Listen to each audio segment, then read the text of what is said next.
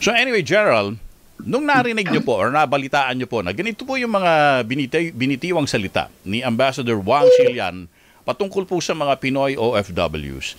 Ang ibig sabihin po ba nito ay maari nating ituring yon as a blunt warning by China na ang ating pong mga interest sa Taiwan ay malalagay po sa panganib kung tayo po ay patuloy na makikipag uh, uh, tawag dito, makikipagtulungan sa Amerika through our EDCA sites.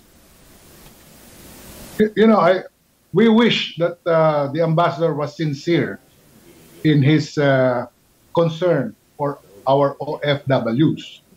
At tayo naman ay nababahala din at concern sa ating mga uh, kapakanan ng OFWs. Eh ang problema, idinugtong ng ambassador sa kondisyon na wag tayong uh, makapagtulungan, wag natin na uh, i-accommodate yung EDCA uh, bases, uh, idinugtong niya doon sa kapakanan ng OFW. Mm-hmm.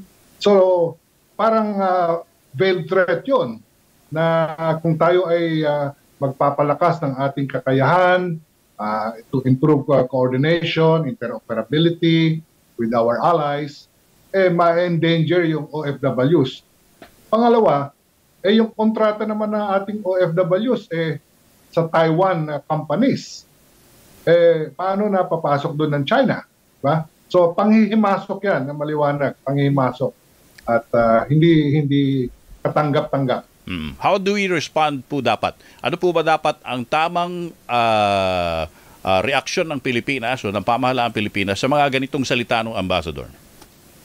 Ang yan eh, as I said, idinudugtong niya sa developments na nagkaroon tayo ng additional 4 bases, meron tayong malaking balikatan, and uh, the policy now of uh, our of the present administration is to improve our uh, uh, alliance through better cooperation, better coordination. So, kaduktong yun doon na sinasabi nitong um, uh, ambassador. Ang, ang sagot natin dyan ay dapat wag silang makialam sapagkat ang national defense, national security ay ay ating uh, pinag-uukulan ngayon ng pansin ay pangsariling uh, concern yan. At tayo ay uh, ang EDCA basis is very clearly within our uh, Philippine territory at uh, yan ay patungkol sa ating uh, improving our defense capability at uh, hindi dapat sila mabahala dyan. Sinasabi natin karapatan ng